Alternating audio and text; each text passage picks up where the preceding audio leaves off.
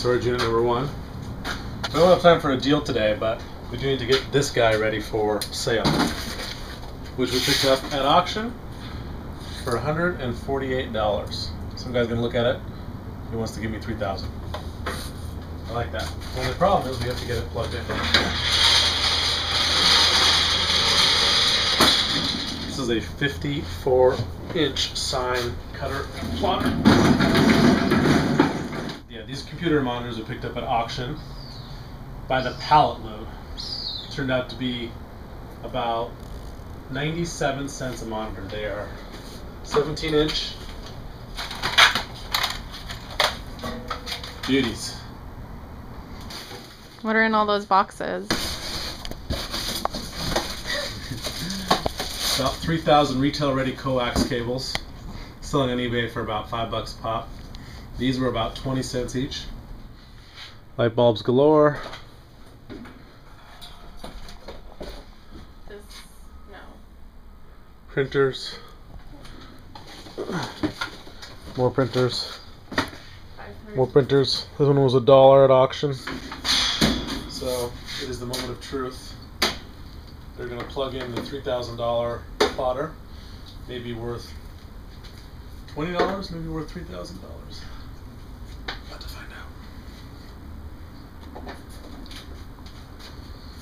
No whammies.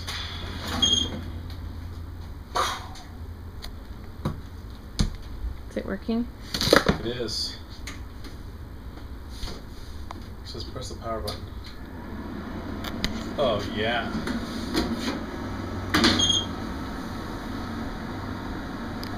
She's alive.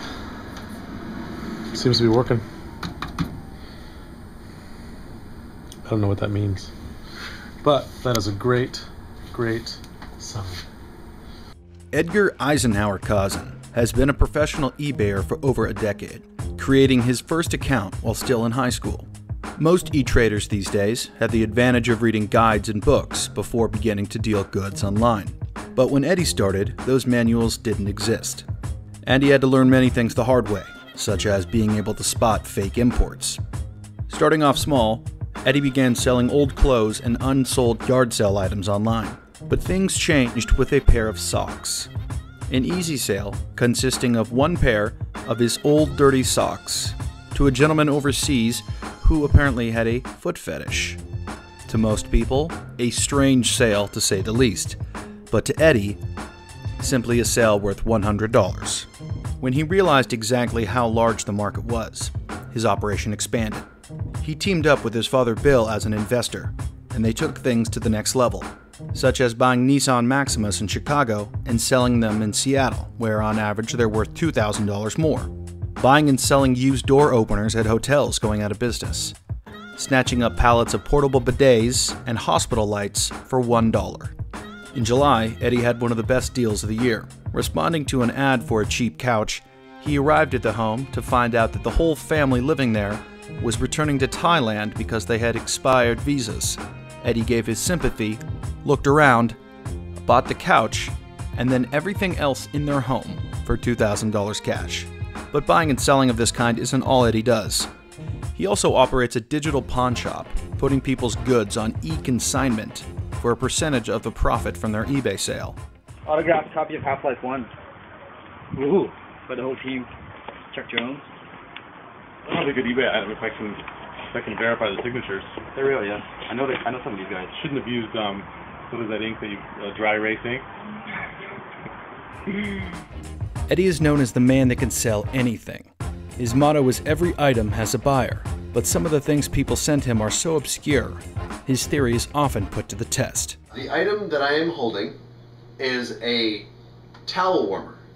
This is sells for approximately between 500 and $1,000. Put your towel on it, fresh, hot, dry, warm, beautiful towels to wrap around you.